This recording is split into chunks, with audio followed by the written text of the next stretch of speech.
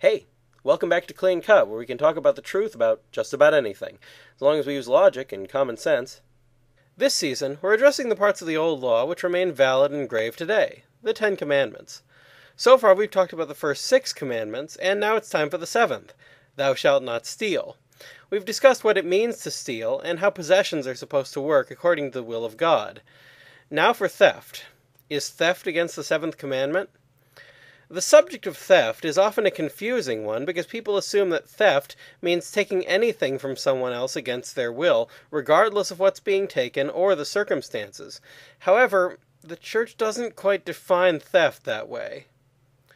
The seventh commandment forbids theft, that is, usurping another's property against the reasonable will of the owner. Catechism of the Catholic Church, paragraph 2408, first sentence. Notice the phrase reasonable will. This seems to imply that if the person's will to retain their possession is actually unreasonable, the act is not stealing.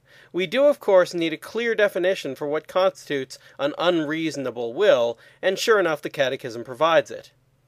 There is no theft if consent can be presumed, or if refusal is contrary to reason and the universal destination of goods.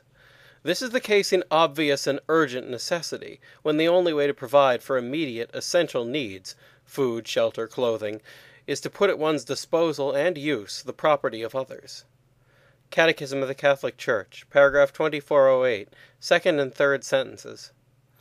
In other words, unreasonable will means that the person is trying to use their possessions against the survival of their fellow man by preventing them from having the basic necessities that we all need to survive. So, to sum up, theft is always against the seventh commandment, but taking the basics that you need to survive from someone who has more than they need isn't even theft at all. Next time, what about accumulating debts and borrowing money that you can't pay back? Are those against the seventh commandment? That's all for now, so keep asking questions, and thanks for watching.